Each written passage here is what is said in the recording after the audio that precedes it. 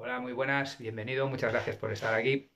Mira, quisiera contigo compartir esto que está un poquito ahora de moda, ¿no? De lo que son píldoras y cápsulas de conocimiento e información. Pues bueno, mi intención es un poquito otra, no es tanto el medicarnos, entre comillas, o dar una solución, sino el aportar, mm, mi punto de vista es aportar semillas, semillas por lo que encierra una semilla, ¿no? En, en una semilla está todo el potencial, todos los recursos, todas las posibilidades, y de alguna manera es el símil con con, mi oficio. Yo soy carpintero, de manera que eso, la semilla, pues eh, encierra eso, todo, todas esas posibilidades en las cuales eh, la metáfora me gusta, ¿no? Con el ser humano y, con la madera, ¿no? El, potencial de, que se genere ese árbol, de que ese árbol sea madera y, esa madera, pues, es la parte principal de, nuestro oficio, ¿no? Eh, es un poquito compartir eso, en el momento en el cual estamos, ver de qué manera eh, aflora ¿no? esta, esta, mejor versión de cada uno de nosotros. Me presento, mi nombre es Manu, soy Manuel Gallete, soy creador de un proyecto que se llama Biofustería. Biofustería es un proyecto que va más allá de un taller de carpintería convencional. y, bueno, es, una carpintería ecológica, por, decirlo así de algún modo.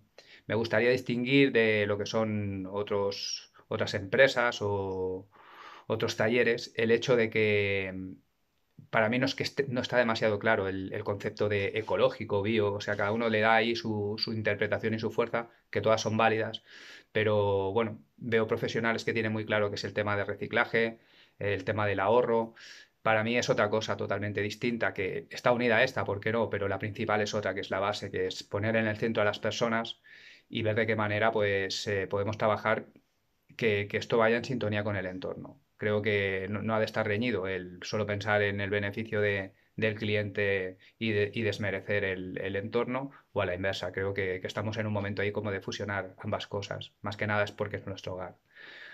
Bueno, siempre que hago una, una presentación, es igual que sea un taller, un curso o en el colegio de arquitectos para, para empresas, empiezo de la misma manera y empiezo pues eso, hablando de lo que son el aprovechamiento de recursos y de esta gestión, ¿no? que de alguna manera es la, que nos lleva a estar en, diferentes episodios o estados como en el que estamos ahora mismo, que, no deja de ser una crisis. ¿no? Eh, recordando cuál es el recurso más preciado para mí, sin lugar a duda, es el tiempo, tu tiempo, mi tiempo.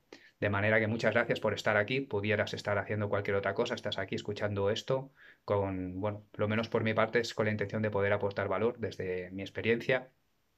Y, y como, te, como te digo, este, para mí este es el, factor como, más determinante, ¿no? Porque la salud, la, si la pierdes, pues también en, según qué momentos la puedes llegar a recuperar. El dinero igual, puedes perder dinero, pero puedes llegar a recuperarlo, pero el tiempo una vez gastado ya, ya no retorna. De manera que darle importancia a, para mí, el, e, e, esto, el, valor del tiempo.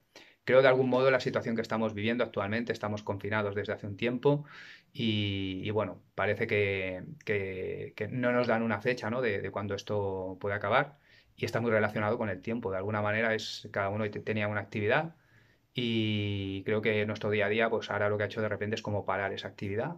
Eh, hay otra realidad, ¿no? Cada cual en, lo que tenga en su, espacio donde esté.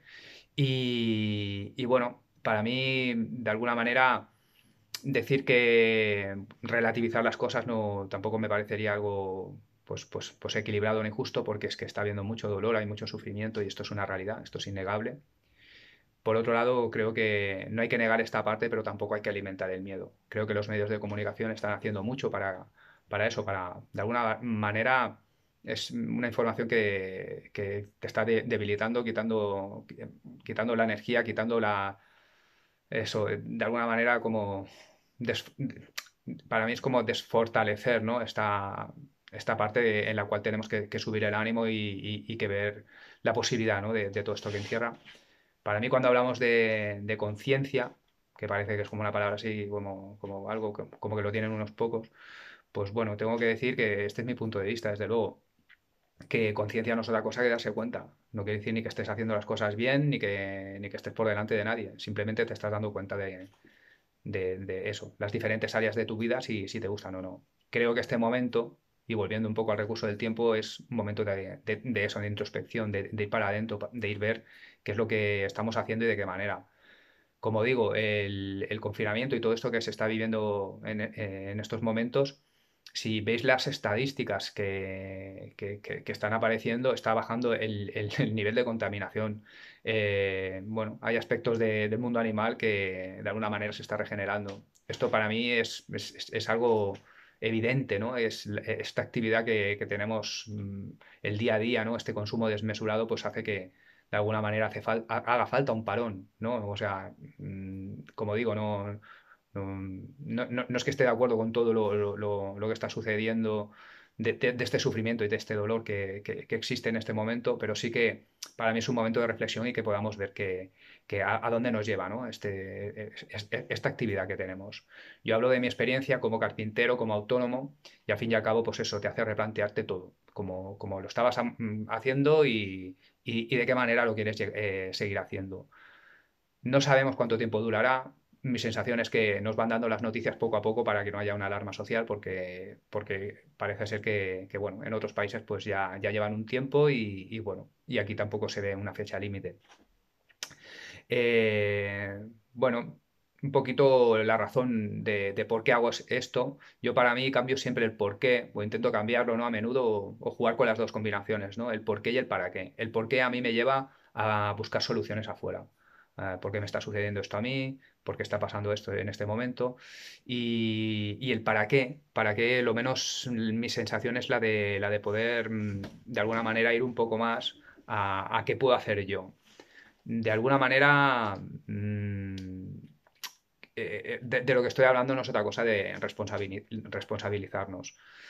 Eh, en mi casa, con mi pareja, con mis hijos, pues, mm, bueno, con mi mujer lo hablamos, ¿no? De ahora más que nunca, pues, pues te toca hacerte responsable de la educación de tus hijos, te toca hacerte responsable de la alimentación, de las finanzas, que esto ya, ya existía antes, ¿no? Pero es que ahora como de alguna manera se agudiza, porque es, eres tú y, tus posibilidades. Como digo, creo que, que hay una información que, que está ahí fuera y, creo que está muy bien el, poderla contrastar, el poner las cosas en cuarentena, el poder decidir tú qué es lo que te parece más, más lógico y coherente en cada momento.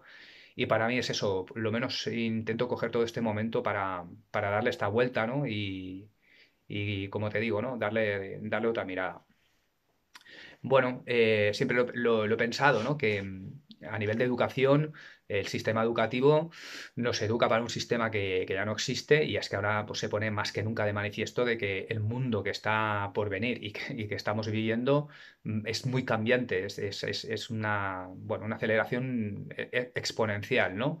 que de algún modo estamos preparando a, las siguientes generaciones para un mundo que no sabemos cómo será. Y creo que el primer paso que, tendríamos que dar los adultos para, para poder mostrar algo a, a, quien viene detrás es esa capacidad de adaptación, porque verdaderamente no hay otra. Aquí ahora prima más la capacidad de adaptación que la experiencia del conocimiento, que son muy válidos. Pero, pero bueno, como decía Albert Einstein, ¿no? que la imaginación es más importante que el conocimiento y creo que el adaptarnos ahora y, dar soluciones a, los nuevos problemas que saldrán, esta es la razón que tendrán los servicios, quien, quien, bueno, quien ofrezca un servicio. Eh, bueno, es eh, la razón por la que explico todo esto no es mm, en base a mi experiencia. Eh, yo cuando, cuando generé este proyecto, cuando lo di de alta hace cinco años, en el, en el 2014, a finales del 2014, tenía muy claro que, era una propuesta que de algún modo se avanzaba en el tiempo. Porque en aquel momento no es que hubiera bueno, pues un 100% de, de, la demanda de, personas que demandaran este tipo de, productos dentro de la carpintería, mobiliario, ventanas, pues todo así con, bueno, pues todo lo que tienes al alcance de madera sostenible, de productos libres de COP, de compuestos orgánicos volátiles, bueno, todo lo que hay detrás para eh, procurar ese, cuidado a las personas y, ese cuidado al medio ambiente, ¿no? Al mismo tiempo. Y, bueno, pues eh, eso me hizo salir de mi zona geográfica y de mi zona de confort. Yo tengo un taller en la provincia de Lérida y, es un taller, pues bueno, pues el de, un autónomo, el que tiene, pues, pues un espacio donde, donde poder ahí desarrollar sus proyectos, pero bueno, con esta ambición, ¿no? De, querer, pues bueno, dar un plus, ¿no? Que no es tan solo hacer un trabajo de carpintería meramente. Esto me hizo salir de mi zona de confort, como digo, y hacer, pues eso, alianzas y acuerdos de colaboraciones con otros profesionales y empresas y ahí se me, se me abrieron muchas posibilidades. He podido llegar a hacer proyectos que, que yo solo pues, pues no hubiera podido y, y, por otro lado, pues eso, conocer a, a personas muy interesantes a todo esto de decir que, claro, muchas personas pues, pues se han negado ¿no? a querer colaborar, pues ellos tenían sus, sus proyectos, sus, sus, herramientas y su metodología y, y muy alejados ¿no? de, de, querer compartir nada. Eh, para mí ha sido una sorpresa, una sorpresa muy, gratificante el, poder abrirme ¿no? Eso, pues a, compartir pues, desde herramientas, conocimientos, proyectos, clientes y bueno, es un sector en el cual estamos donde hay muchas resistencias, como creo que, en otros sectores, ¿no? de, los autónomos que estemos físicamente ¿no? en, un espacio. Y bueno, eh, siempre he creído esto, ¿no? que Internet ya había dado aquí la información al alcance de cada, de cada cual que la, que la quiera buscar y que ahora se, se, se, trataba de que el ser humano pues diera, diera este paso. Volvemos a estar en un momento así como de crisis. ¿no? Entonces, para mí la crisis no, no fue una crisis económica, fue una crisis de valores y esta ausencia de valores es lo que me hizo ponerme delante de un público a dar conferencias. A dar conferencias y, bueno, cada vez que hacía un taller o que hacía eso, una explicación en público, es igual que fuera una, una escuela o, que fuera, pues, pues cualquier otro espacio, pues compartía eso, ¿no? El, el, esta, el recuperar estos valores, ¿no? Que por la parte que a mí me tocaba, veía que en países eh, mm, pues, pues más del norte de Europa ya había una conciencia de lo que era eh, la gestión forestal sostenible, la sostenibilidad, el tener artículos de madera en, tu vivienda, que bien puede ser un suelo, un edificio, como juguetes, ¿no? Al fin y al cabo es, ellos entienden de que la valor tiene un valor añadido y que aquí estamos mm, hablando de continuamente el precio y, si lo hace una máquina o lo, hace una persona. Y, y, bueno, pues recuperar un poquito esa, esa educación, ¿no? Eh, hablando con gremios, pues mmm, compartimos esto, el ver que, cada vez desaparecen más escuelas de oficios y el agravante que esto supone para profesionales que buscan a profesionales cualificados. ¿no? Entonces, bueno, un poco al hilo de, esta situación en la cual vivimos, creo que de alguna manera es una invitación a, eso, a recuperar estos valores y a ver de qué manera entre todos podemos... Eh, eh, salir fortalecidos de esta situación, porque creo que es un poquito de, lo que se trata. Estamos en el 2020, en el 2019, en agosto del 2019 nació nuestra hija y a causa de que mi mujer estuvo hospitalizada, pues me vi en una situación donde pues eso no podía estar físicamente en el taller. Gracias a estos acuerdos de colaboración pude hacer más de una gestión a través del teléfono y esto me permitió eh, no cerrar, no cerrar el taller y seguir con la actividad. Me voy a referir que este para mí es el modelo de, de, negocio que viene. Viene un negocio más colaborativo, no es, no es, competitivo desde mi punto de vista, o sea, se ha acabado el competir, toca colaborar y, y si hay alguna eh, competición en todo caso es contigo mismo, con superarte a ti y bueno, intentar eso, pues aportar un valor, un valor diferencial. Eh, fue tal el impacto que tuve con, eso, con el buscar estas informaciones de lo, que eran las nuevas tecnologías o esta era digital en la cual estamos inmersos, que me lancé a dar una conferencia el año pasado en Biocultura, te la recomiendo, está, en mi página web, está en YouTube, y habla de eso, de, del impacto que tiene esta revolución 4.0 en lo que son pues, eh, talleres como, puede ser el, el nuestro, ¿no? tan, tan, entre comillas, artesanal. ¿no? Y a este respecto, pues bueno, ver cómo, cómo talleres hacían apuestas por, por, controles numéricos o máquinas que pueden eso, de alguna manera, eh, acelerar los procesos y, y, cómo no les acababa de funcionar o habían hecho una inversión muy fuerte y de repente pues disminuyó el volumen de, trabajo y tenían una máquina que, que, que, podía eso, sacar mucho trabajo, pero que, en realidad pues no, no entraban los pedidos. Y, y, bueno, empresas que hacían in, inversiones muy importantes en, en, eso, en pasar de un taller del siglo, del siglo pasado a, a, a, al, de, al, actual y que tampoco acababan de funcionar.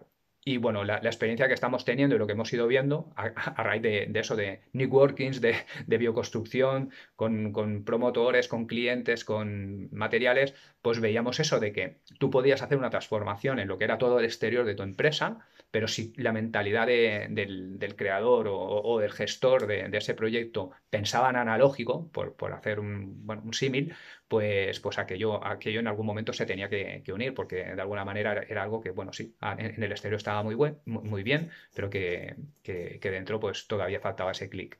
Lo mismo pasa con una página web. Al fin y al cabo, el tema de tener una página web, eh, si no tienes una estrategia de tal, detrás, de, poco sirve. Eh, Estos son cosas que, bueno, que poco a poco estamos viendo, ¿no? Que, no basta con una cosa, ha de ir acompañada. Bueno, un poquito para finalizar y a modo de, reflexión, eh, la pregunta es, eh, ¿qué crees tú que va a tener mm, cabida en los mercados? Y es una pregunta creo que para reflexionar, pero bueno, mi, sensación y, mi respuesta que me doy yo a mí mismo es todo aquello que aporte valor. Como digo, las, las necesidades van a ser diferentes y todo aquel que esté por, por, dar soluciones es el que tiene, el que tiene un espacio y, o sea, montar un taller de carpintería como, como los que ya hay, pues, pues la verdad, eres, eres uno más eh, y vas a competir por precio. Creo que este, esta es una de las, mm, de las cosas que, cada vez mm, estamos más en un mundo súper especializado y, creo que, tienes que tener algo diferencial. No sé, te lanzaría preguntas del tipo si crees que, es importante saber vender. Creo que tenemos una resistencia a, eso, a, poder vender. Y no me refiero tan solo a vender a un cliente, que por supuesto, o a negociar. Hablo de eso, de, negociar incluso acuerdos de colaboración, que no todo es a cambio de dinero. hablo de, negociar con, con, con proveedores que tienen productos que están en sintonía con lo que tú defiendes para tus clientes. Yo me estoy sorprendiendo en el momento cuando yo doy un taller y digo a los diferentes proveedores si, si, quieren colaborar y están teniendo una respuesta maravillosa. De algún, de algún modo yo he creado un vínculo de confianza con ellos de, bueno, siempre que me llega algún cliente, según el material y según el, bueno, el objetivo ¿no? de, de, lo que quieran conseguir, pues recomiendo materiales directamente. Y claro, me tomé la molestia de desplazarme hasta el lugar, hablar con ellos para poder defender que es que porque es libre de CO, porque es libre de compuestos eh, orgánicos volátiles. ¿Dónde está la ficha técnica? O sea, al fin y al cabo tú tienes un interés por ellos que, de algún modo luego tiene un retorno, que no es, no, es, porque tenga que tener ese retorno. Al fin y al cabo, yo lo que estaba buscando eran materiales que, que reunieran esas características para, para dar soluciones a, a, lo que es mi, mi, cliente potencial. También te preguntaría si, si crees que es importante comunicar pues lo mismo, o sea, ya puede ser el mejor de, los profesionales, es igual en el sector que estés, que si no sabes comunicar no existe. Eh, parece ser que lo que sabe Google de, ti es lo que, lo, que, lo que el mundo va a saber de ti. Y, creo que ahí hay que hacer pues, pues también una, inversión, una apuesta de valor de, de, qué es lo que a, ti te hace diferente y por, qué, y por qué te tengo que comprar a ti, no otra persona. Eh, y por último, es un poquito si, si crees que son importantes las herramientas digitales. Creo que si ahora estamos pudiéndonos comunicar es gracias a esto, a, herramientas digitales que hoy existen. Creo que hay que aprovecharlas más que nunca. Yo soy mucho del poderte mirar a los ojos, poder hablar contigo y, ver si lo que yo ofrezco coincide con lo que son tus necesidades. Pero creo que, bueno, y más en el momento que estamos ahora mismo, ¿no? Pues utilizar estas herramientas es, vamos, mm, no está solo necesario, es algo agradecer incluso, ¿no? Bueno, como decía, para mí tomar conciencia no es estar por delante de nada ni de nadie, es darse cuenta. Y la buena noticia es que, mira, tienes mm, a tu alcance muchísima información. Hoy más que nunca, cualquier ser humano tiene, tiene la información que no ha tenido nuestros antepasados. ¿no? Y para mí haría una distinción en lo que es, eh, dicen, la era de, de, la información y el conocimiento. Yo haría una gran distinción en lo que es información y conocimiento. Información hay muchísima creo que el conocimiento es lo que te puede, te puede ayudar. Para mí lo que yo he intentado hacer en todo momento es de toda la información que hay en la red, buscar el conocimiento que a mí me resultaba más, más interesante y que me podía aportar valor para yo poderlo transmitir a mis clientes. Creo que ese es el hecho diferencial, optimizar tu tiempo, como decía el primer recurso, y luego utilizar el conocimiento más que toda la información. O sea, hay un conocimiento que, es válido, el otro pues, pues simplemente, pues bueno, también se llena la, la red ¿no? de, esta información. ¿no? Y, bueno, nada, decirte que, durante, durante los siguientes vídeos quiero ir compartiendo, pues bueno, una de las conferencias que, que, doy, que es, eh, pues eso, las siete tendencias más peligrosas a las que se enfrenta un, un, autónomo carpintero, que como digo, pudiera ser cualquier otro tipo de autónomo, porque al fin y al cabo lo que estoy hablando es que mi experiencia me llevó a tener que hacer una serie de cosas que sin ser un confinamiento como en el que estamos inmersos todos ahora en este momento, pues me, tuvo que hacer eso, el, tener que mm, buscar la manera de seguir mi, actividad sin estar físicamente en un taller y sin tener un equipo físico. Eh, sí que tenía un, equipo, pero era un equipo que había creado yo a través de colaboraciones, que también es eso, dentro de todas las inversiones que decía, ¿no? de, esta de esta era digital, era como, bueno, me di cuenta de que no hacía falta hacer estas inversiones, con tener los, los contactos idóneos para, para cuando eh, salieran proyectos que, que requerieran de, de, esa maquinaria, pues bueno, pues, pues eh, llegar a, a, esos acuerdos, ¿no? Y, y nada, que, que bueno, que, que si has llegado hasta aquí, solo decirte una cosa, que si no me crees, me alegro un montón sinceramente, porque esto no va de que me creas a mí ni a nadie, esto va de, de que, como te decía al principio, esta semilla, eh, que es el potencial que tenemos cada uno y los recursos, pues que, que, afloren. Si crees que hay algún área de tu vida que crees que puede mejorar y este vídeo te ha hecho así un, poquito el, el, podértelo plantear, creo que de eso se trata, de, que busques, que investigues y, y, ver de qué manera pues, encontrar soluciones. Nada, lo único para finalizar es decirte que, creo que la situación que estamos verdaderamente es un momento donde todo aquel que, tenga algo que aportar, eh, sobre todo aportaciones de valor desde mi punto de vista, pues es el momento de compartirlo y es desde aquí, desde donde yo te, te lanzo esta información. Eh, si te ha gustado este vídeo me alegro muchísimo y nada, eh, continuaremos. Eh, tengo más información en mi página web, si quieres entrar es eh, biofusteria.com y nada más. Eh, si estás en este proceso, como te digo, te deseo ahí muchos ánimos y para adelante. Un fuerte abrazo. Chao.